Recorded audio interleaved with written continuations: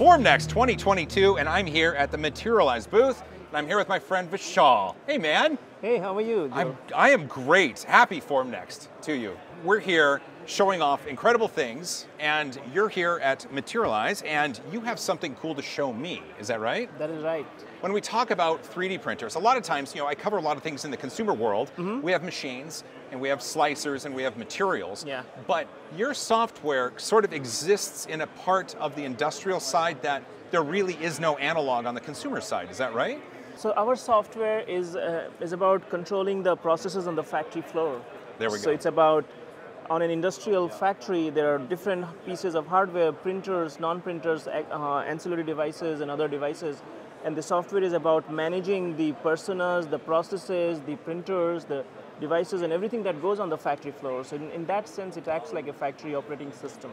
That's really cool to hear, and Yeah. that's I think that's what it's really difficult for people to to understand. So let's let's take us through a, kind of like a, a default factory setup. You Yeah. would have personnel, Yeah. and you would have printers, Yeah. and a various number of printers. Yeah.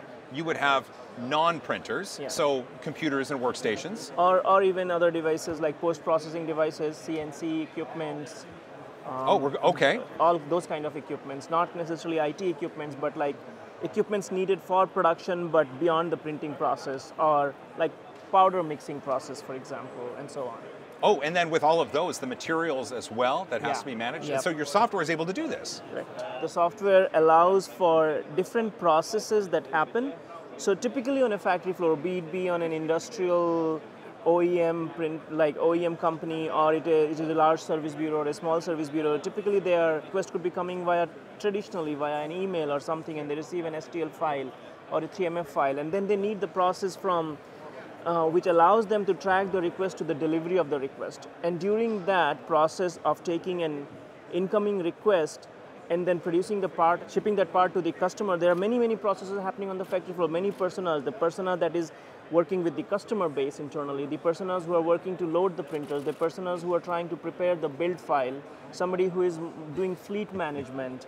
So all these personas and all these processes and all this data generation, all of that is managed by the CoAM platform using different modules.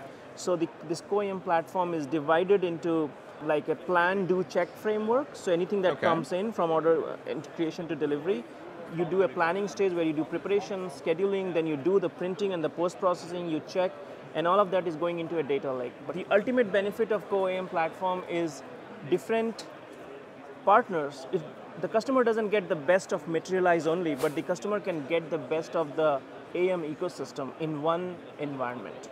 And by, by customer, you mean like the, the bureau owners, yeah, the, operators. The end customer, the, the- end, the end yeah, customer. yeah. Think BMW or Boeing or like people who are truly adopting, not only BMW and Boeing, but everyone else like Ford, GM, you name it. I'm not pro. Right, right, pro- everybody, everybody. everybody.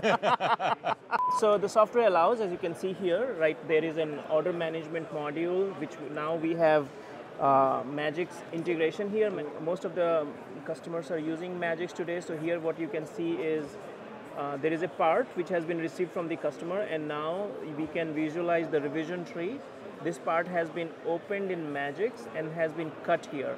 Being able to see history on geometry is, Correct. is fascinating. Yep. Once the order is now prepared, you've costed, quoted, you're working with the customer, now you're going to production. As you're going into production, you're doing production planning, you're creating these platforms, you're tracking assigned platforms. You can open that in Magics or in a, in a web-based. There is a trend Oh, towards. and there's, there's a bed and there's a part. Okay, Yep, yep, okay. yep, exactly.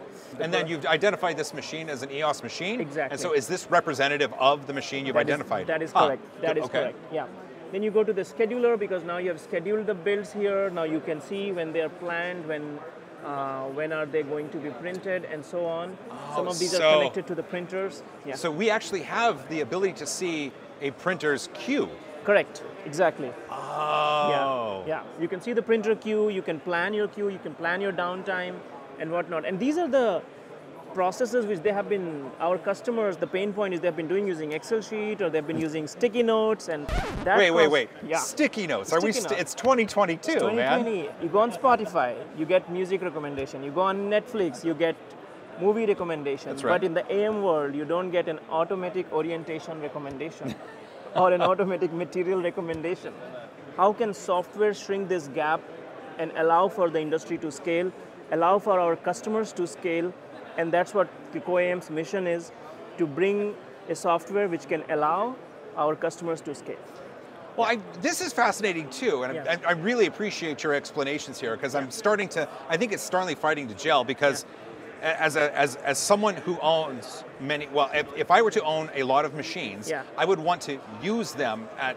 At as, as much as I could, Yeah. I would want the least amount of downtime, Yeah. and I would want the best performance because I need them. I need to recover the cost of the machine Yeah. as fast as I can. Yeah. And your software does that. Yeah, That's really cool. Yeah. No, this is this is amazing. I I had an idea. I've done some research, and Yeah. I, you know, it, it's software that helps run a bureau. yeah, It's it's an interesting thing because it's very specific in what it's trying to provide, Yeah. and you've you've covered all of the bases. Like Yeah. it seems like like you explained at the beginning, from this part to this, you know, part Yeah. part inception to part shipped. yeah.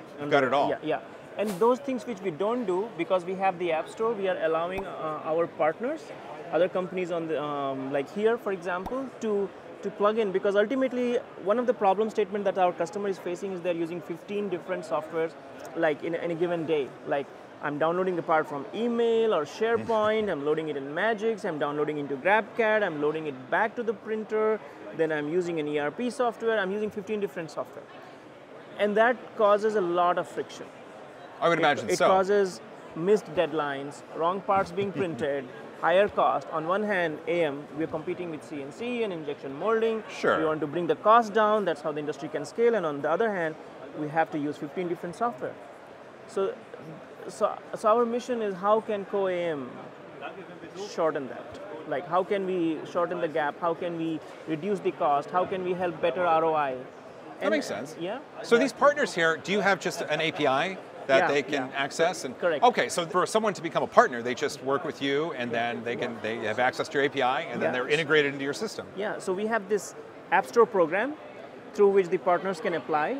And once they apply, they get documentation of our um, App Store and they can now develop their apps and they can choose where their apps show up. Their app can show up, for example, on scheduling or can in order management. As an example, I'm going to show you here in production scheduling. Uh, somebody can have an app. So this is a build job and here Okay. is the here is the app. This is a not a real app Oh. from EOS Print, and they can just inject another app, and it goes to the App Store. Now you can actually look. Okay, this is an auto nesting app. It is automatically looking at your backlog and preparing the build platforms and scheduling it behind the scenes. So now I don't need I to put a human to do that. If we can tell the machine to do that and encode those rules. That's cool, man. Oh, that's I, you know I love all this information. We have to wrap it up. I know Yeah. FormNext is going on, Yeah. and you have lots of other people to talk to. yeah. But if, look into that camera right there and Yeah. let people know where they can go to find out more information.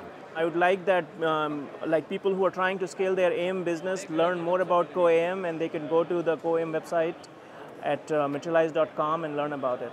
There we go. Yeah. Hey, have a good rest of FormNext, my friend. Thank you.